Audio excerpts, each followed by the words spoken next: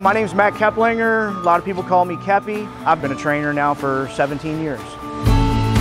When we get the new hires come through the door, I try to treat them like family. This individual right here sent me this today. There's not too many men I admire with, I can't do it. There's not too many men I admire or that has made an impact in my life, but you've made that list. This is one of the reasons that I love my job, getting messages like this. When my life needed purpose, I chose Dot.